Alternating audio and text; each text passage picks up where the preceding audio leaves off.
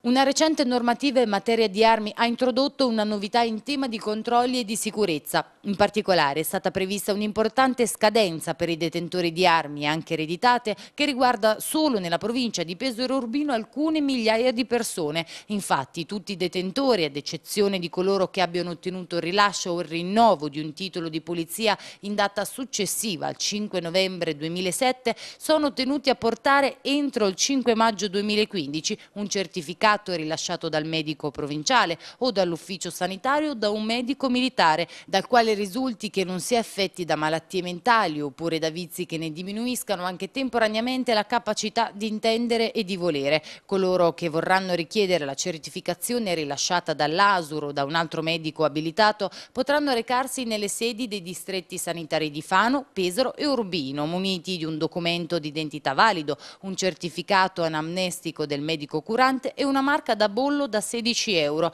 Qualora entro il 5 maggio il detentore di armi non provveda a quanto imposto dalla legge, verrà invitato dalla questura ad effettuare la certificazione entro 30 giorni, ma se non verrà fatto verrà segnalato alla prefettura. Il prefetto emanerà poi un provvedimento di divieto di detenzione arma a seguito del quale entro 150 giorni il detentore dovrà disfarsi dell'arma. In che modo? Ci sono varie possibilità, o l'arma può essere venduta a un'armeria o a un altro utente che ne abbia titolo per possederla o altrimenti può essere chiesto eh, ai eh, singoli uffici di polizia, quindi parlo anche delle singole stazioni carabinieri, eh, di eh, rottamare l'arma uh, senza costi. Se l'arma ha un particolare valore affettivo invece dovrà essere modificata da un armaiolo in modo tale che non possa più sparare ma allo stesso tempo potrà essere utilizzata come soprammobile. Bisognerà comunque fare una richiesta alla questura e attendere il nulla ossa della sovrintendenza. Si ricorda inoltre che gli uffici competenti a ricevere la certificazione sono la questura per il territorio del comune di Pesaro, i commissariati di polizia di Fano Urbino per i rispettivi comuni e i comandanti di stazione dell'Arma dei Carabinieri per i restanti territori di competenza.